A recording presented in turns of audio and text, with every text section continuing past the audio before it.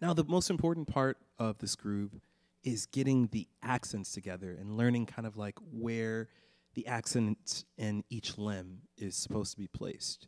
So, for example, like the bass drum is.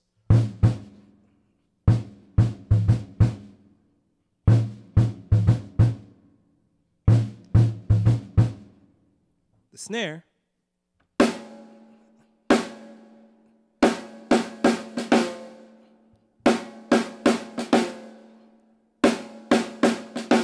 the hi hat.